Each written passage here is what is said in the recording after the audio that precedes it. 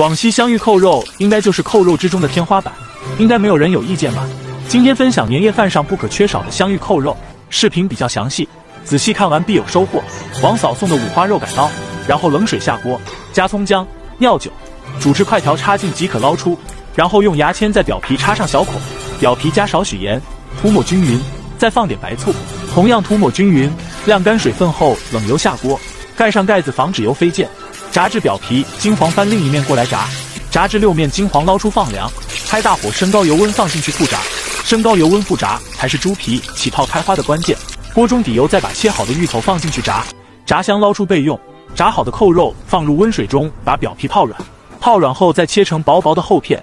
碗中加葱姜末、生抽、蚝油，一勺柱侯酱，一块南乳，十三香，少许盐，再加点清水，搅拌均匀，倒入备好扣肉和香芋上。